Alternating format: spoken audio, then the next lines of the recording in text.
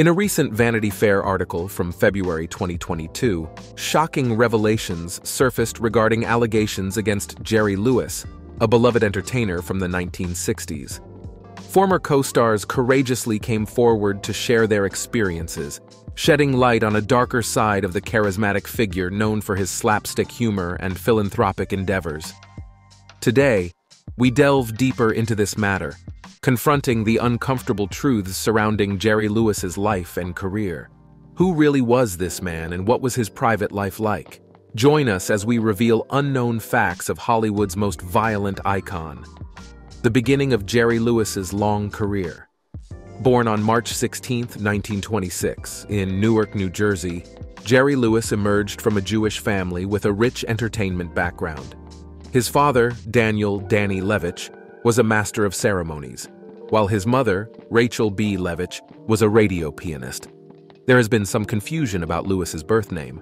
Although he claimed in his autobiography that he was born Joseph, his birth certificate, as well as U.S. Census records from 1930 and 1940, list his name as Jerome. Similarly, there are mixed reports about the hospital where he was born, with some sources citing Clinton Private Hospital and others naming Newark Beth Israel Hospital. Lewis's early years were marked by his mischievous nature, known for pulling pranks during his teenage years that often got him into trouble. Expelled from one high school and later dropping out of another, Lewis changed his name to avoid confusion with other performers, setting the stage for his future in show business. By age 15, Lewis developed a unique act where he mimed lyrics to songs while a phonograph played offstage, which he called his record act. Although his first gig at a burlesque house in Buffalo didn't go well, he didn't give up. He worked various jobs, such as a soda jerk and theater usher, to support himself. Eventually, a veteran burlesque comedian, Max Coleman, encouraged Lewis to keep trying, and he did. Irving Kaye, a Borscht Belt comedian, saw Lewis perform his mime act at Brown's Hotel in Loch Sheldrake, New York, and was impressed by the audience's reaction. Kaye became Lewis's manager and helped him secure more bookings in the Borscht Belt circuit. During World War II, Lewis, despite his desire to serve, was unable to due to a heart murmur. However, fate intervened when he crossed paths with 27 year old singer Dean Martin at the Glass Hat Club in NYC in 1945.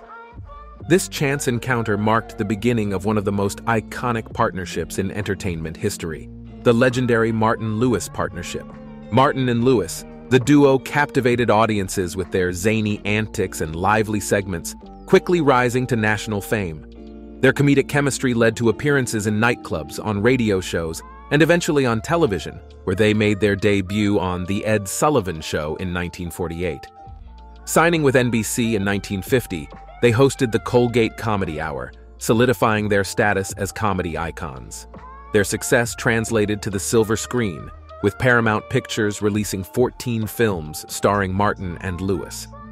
Their popularity even extended to the realm of comic books, with DC Comics publishing adventures featuring the dynamic duo. They co-starred in 16 feature films released through Paramount during their time under contract with Hal Wallis. Though their films were popular, their working relationship became increasingly tense over the years. Martin often felt overshadowed by Lewis's over-the-top comedic style, while Lewis's antics started to dominate their films. Another reason for the tension is thought to be the relationship between their wives.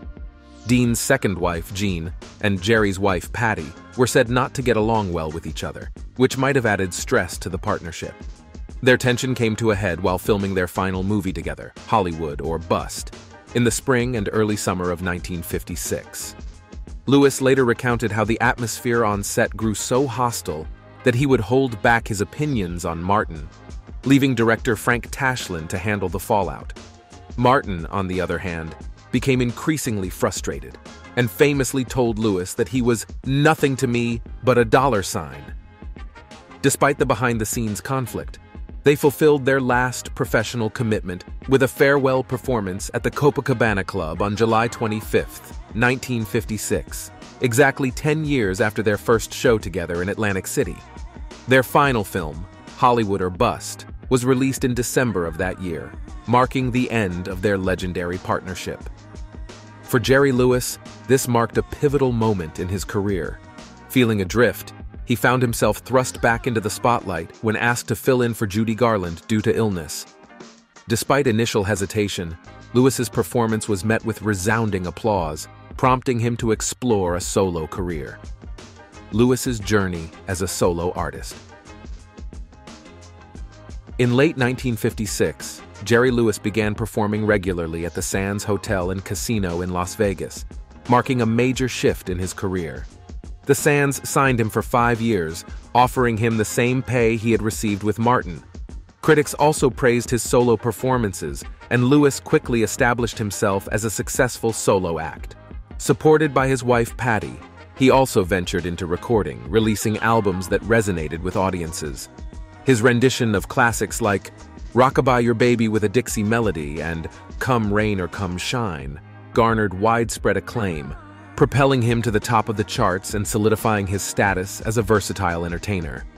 The single of Rockabye Your Baby went to number 10, and his album Jerry Lewis Just Sings went to number 3 on the Billboard charts, staying near the top for four months and selling a million and a half copies. Jerry Lewis's album success led to a string of other records, including More Jerry Lewis and Jerry Lewis Sings Big Songs for Little People. An EP of songs from these albums was released as Somebody Loves Me. He continued to release several singles over the years, but only It All Depends on You made a brief impact on the charts, peaking at number 68 in the spring of 1957. However, this wasn't Lewis's first venture into the music world. When he was still part of the Martin and Lewis duo, they recorded several songs together, some of which charted and were even used in their films. Lewis also ventured into children's entertainment, recording albums tailored to young listeners. It started in 1948 when he ventured into recording novelty comedy numbers and music for children, showcasing his versatility as an entertainer. Now note that after Martin and Lewis parted ways, Jerry Lewis still stayed with Paramount as he dove into his solo career. He kicked off his acting chapter with the Delicate Delinquent in 1957, followed by The Sad Sack later that same year. His partnership with director Frank Tashlin, known for his work on Looney Tunes cartoons, was a perfect match for Lewis's quirky humor. His collaboration with the director yielded several memorable films, although Lewis famously turned down a role in Some Like It Hot. He was approached by director Billy Wilder for the lead role in the film, but he turned down the opportunity and went on to star in Don't Give Up the Ship in 1959, making a cameo appearance in Li'l Abner the same year. In 1959, Paramount signed a lucrative contract with Jerry Lewis Productions, offering Lewis $10 million and a whopping 60% of the profits for 14 films over seven years. This deal made him the highest paid talent in Hollywood at the time and gave him extraordinary creative control, including Final Cut and the eventual return of film rights after 30 years. In the early 1960s, Lewis continued to shine both in front of and behind the camera. He completed his film contract with Wallis and directed and starred in hits like Visit to a Small Planet and Cinderfella. Notably, The Bellboy, which he directed for Paramount Pictures, showcased his innovative filmmaking techniques, funded entirely by his own resources, Live performances were a key part of Lewis's career as well. Throughout his career, he made several television appearances, including stints on shows like What's My Line, The Ed Sullivan Show, and Tonight starring Jack Paar. He also hosted the Academy Awards three times in the 1950s, showing off his quick wit when he had to improvise for the 1959 ceremony, which ran 20 minutes short. Lewis's television presence remained strong as time went on, with appearances on popular shows like The Garry Moore Show and The Andy Williams Show. His appearances on these shows further solidified his status as a household name. Networks even clamored for him to have his own talk show, a testament to his immense popularity and influence. Lewis's fame continued to grow, and in the world of comics, DC Comics launched The Adventures of Jerry Lewis, a sequel to their previous series featuring him and Martin. This series ran from 1957 to 1971, showcasing Lewis's widespread influence on popular culture. The last films Lewis featured in and directed. The pinnacle of Lewis's directorial career came with The Nutty Professor, a beloved parody of Dr. Jekyll and Mr. Hyde. He played the role of Professor Kelp, a socially awkward scientist who creates a serum that transforms him into a confident but obnoxious ladies' man. This film is often considered one of his best works and is a classic in his filmography.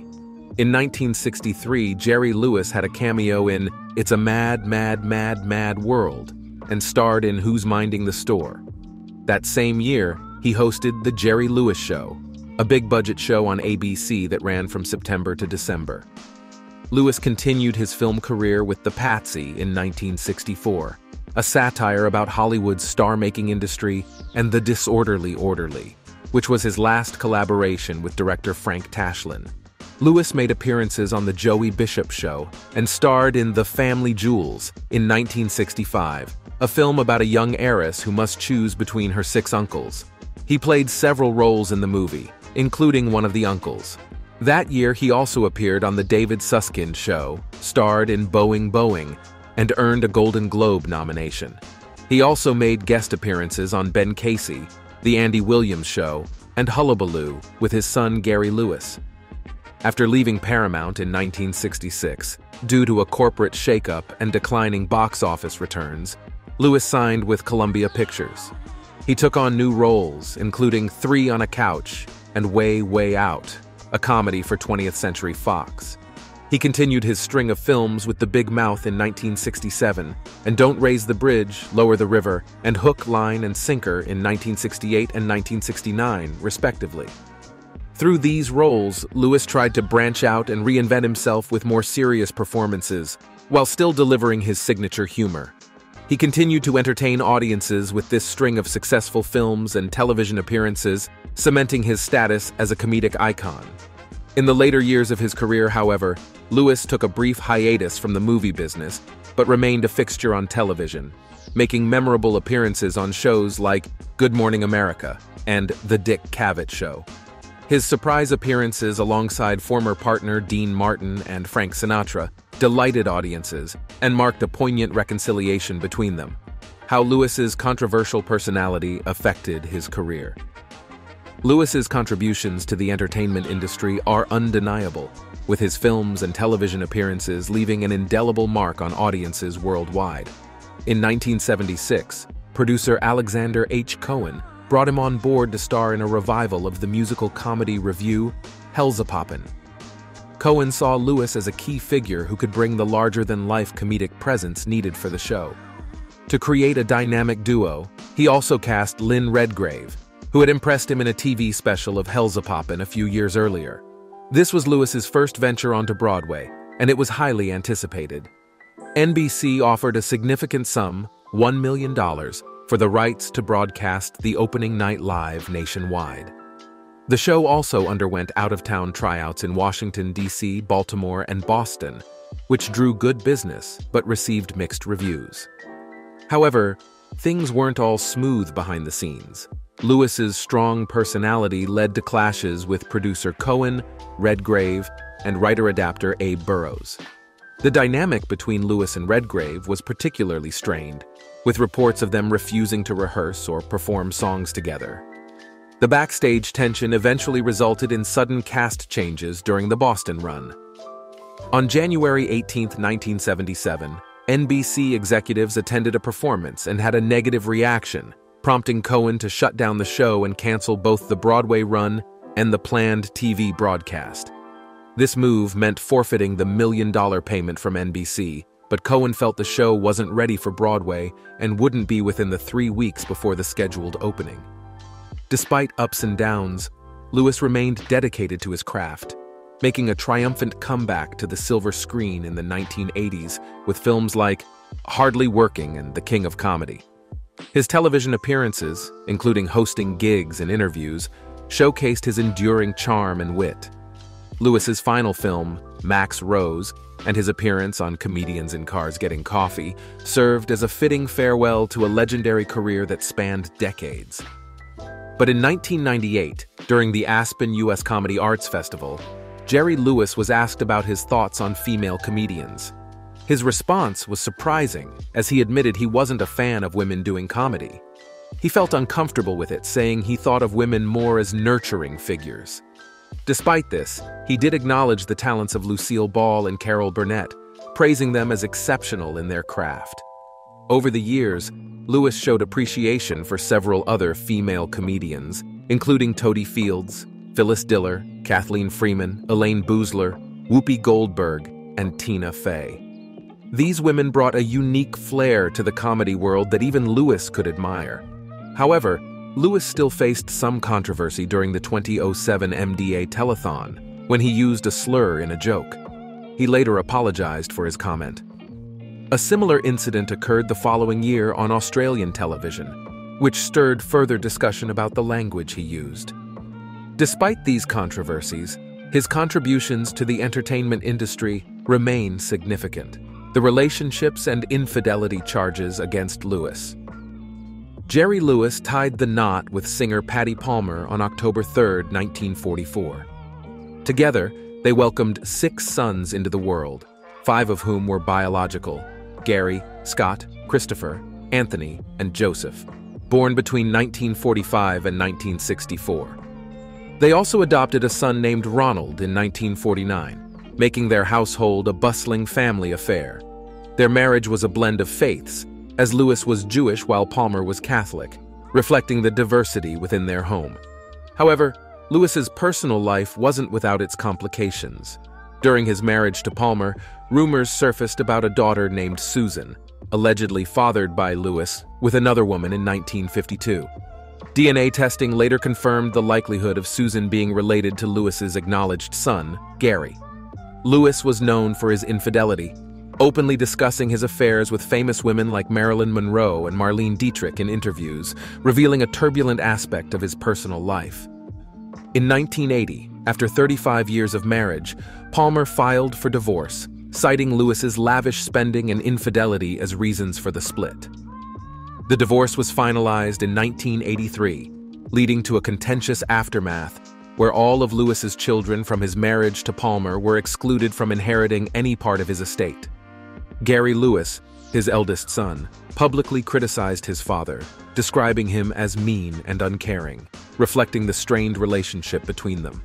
Following his divorce from Palmer, Lewis found love again with Sandra Sandy Pitnick, a ballerina and stewardess. They met during the filming of Hardly Working, where Pitnick had a small role in a dancing scene. They tied the knot on February 13, 1983 in Kissimmee, Florida, and later adopted a daughter named Danielle in 1992. Despite Lewis's tumultuous past, his marriage to Pitnick endured for 34 years until his passing, marking a period of stability in his personal life. However, Lewis's personal life was marred by controversy in his later years. In February 2022, allegations of sexual assault, harassment, and verbal abuse emerged from Lewis's former co-stars in the 1960s. Accusations from individuals like Karen Sharp, Hope Holiday, Anna Maria Alberghetti, and Lainie Kazan painted a troubling picture of Lewis's behavior during his time in the industry. These allegations ranged from unwanted advances and inappropriate comments to instances of physical assault and intimidation, sparking widespread condemnation within the entertainment industry. The scandal served as a sobering reminder of the prevalence of abuse and harassment in Hollywood, highlighting the urgent need for accountability and measures to prevent such behavior in the future. Lewis's personal life, marked by both triumphs and tribulations, offers a complex portrait of a man whose legacy is as complicated as it is celebrated. Lewis's contribution to the MDA charity.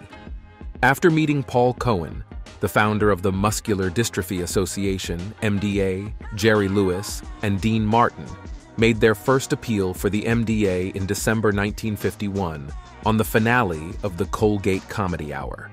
They followed up with another appeal in 1952. Lewis continued his involvement with the organization, and in 1954 he participated in a boxing match against Rocky Marciano to raise funds for MDA. By 1956, Lewis hosted the first MDA telethon, just before the end of his partnership with Martin. Later, he was named National Chairman of the association. In the following years, Lewis hosted Thanksgiving specials in 1957 and 1959. His most notable contribution to the cause was the annual Jerry Lewis MDA Labor Day Telethon, which he began hosting in 1966. The telethon aired live every Labor Day weekend for 44 years, spanning multiple decades. Co-hosted by Ed McMahon from 1973 to 2008, the event was broadcast from cities like New York, Las Vegas, Hollywood, and Chicago, making it one of the most successful and widely watched fundraising events in television history. The telethon used iconic songs such as Charlie Chaplin's Smile and You'll Never Walk Alone as part of its introduction and outro. The telethon achieved several milestones. It was the first to raise over $1 million in 1966 and to broadcast in color in 1967.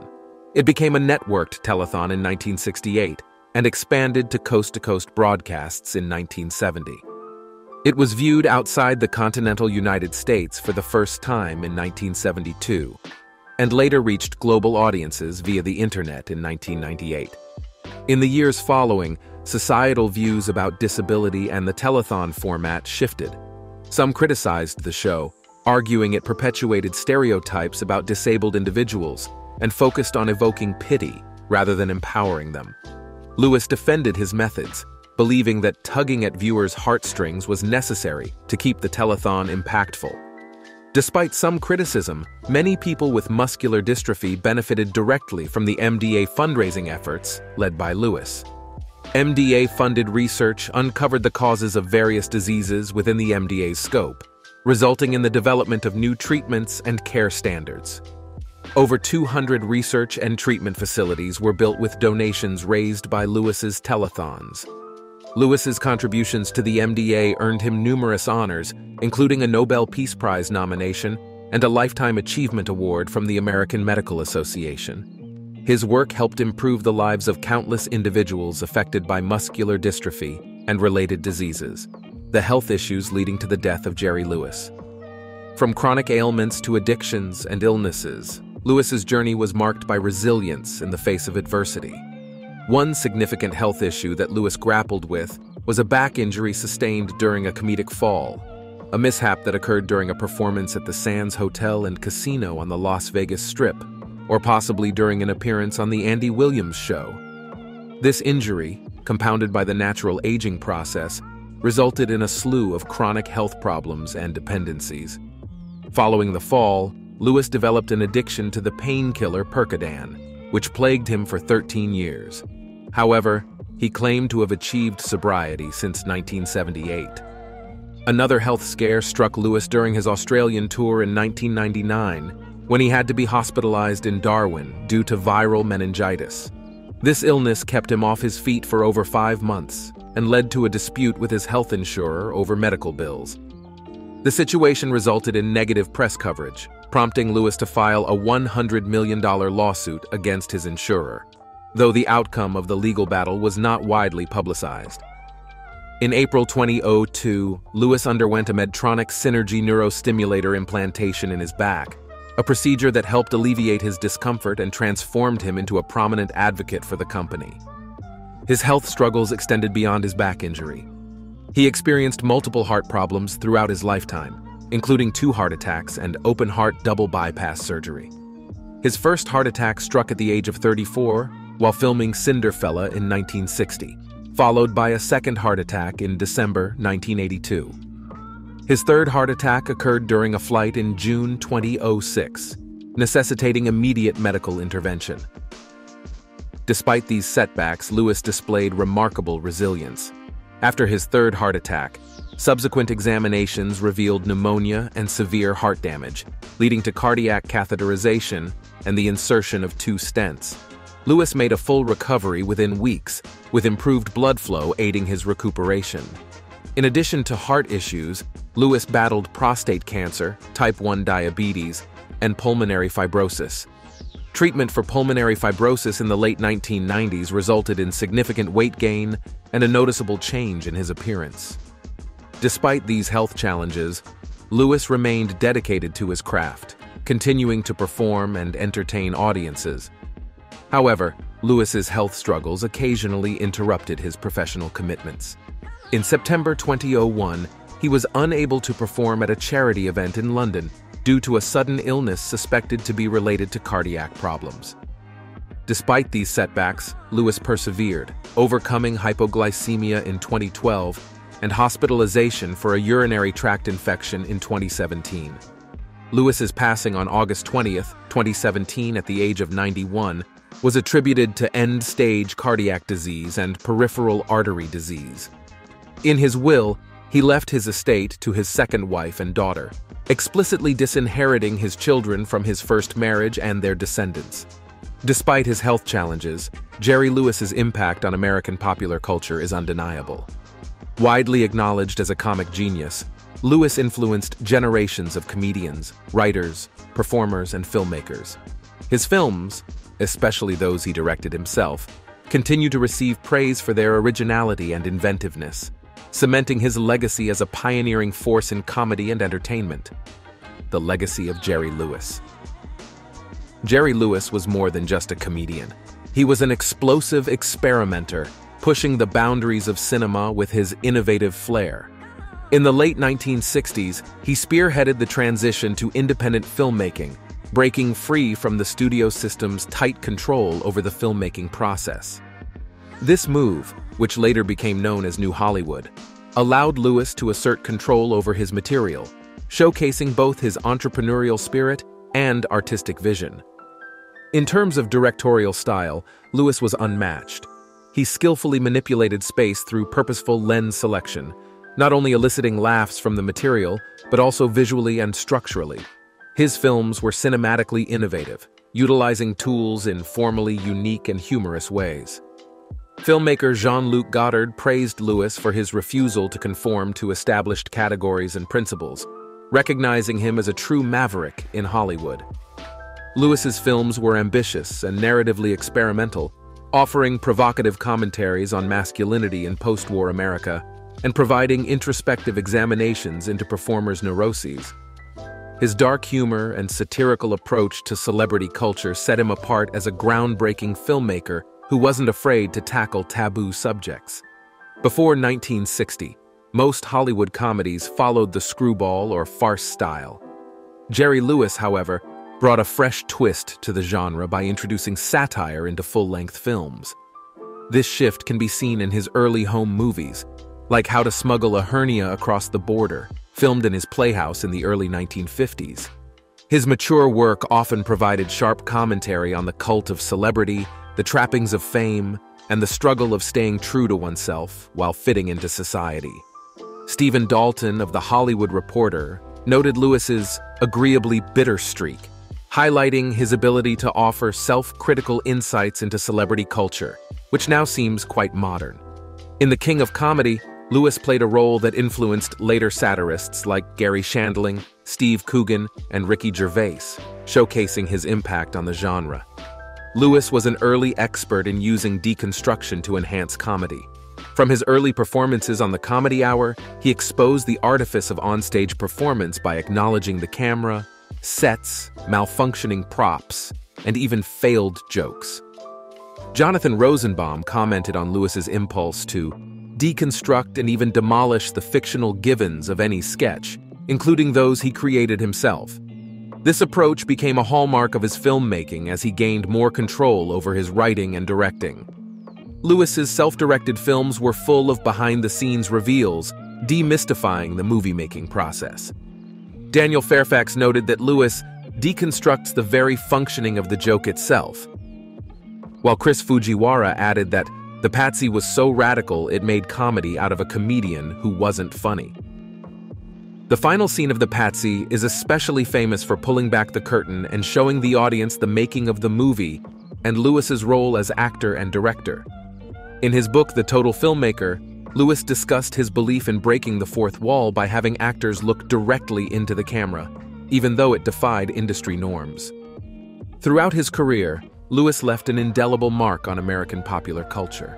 His influence can be seen in the work of subsequent generations of comedians and filmmakers who continue to draw inspiration from his groundbreaking contributions to cinema. Lewis's death in 2017 was mourned by collaborators and fans alike. His talent and friendship were praised by luminaries such as Robert De Niro and Sandra Bernhard, who recognized his pioneering role in comedy and film. In recognition of his legacy, retrospectives of Lewis's work have been held around the world, highlighting his enduring impact on cinema. In 2017, he co-founded the Legionnaires of Laughter and Legacy Awards, further cementing his status as a cultural icon. Additionally, he was honored with a video display on the Las Vegas Strip, a testament to his enduring popularity as a casino showroom headliner in Las Vegas. Lewis's annual Labor Day MDA telethon, which he hosted for many years, became a staple of American television, further solidifying his place in entertainment history. His legacy continues to inspire and entertain audiences, ensuring that his contributions to comedy and film will be remembered for generations to come. Thanks for watching. See you in our next video.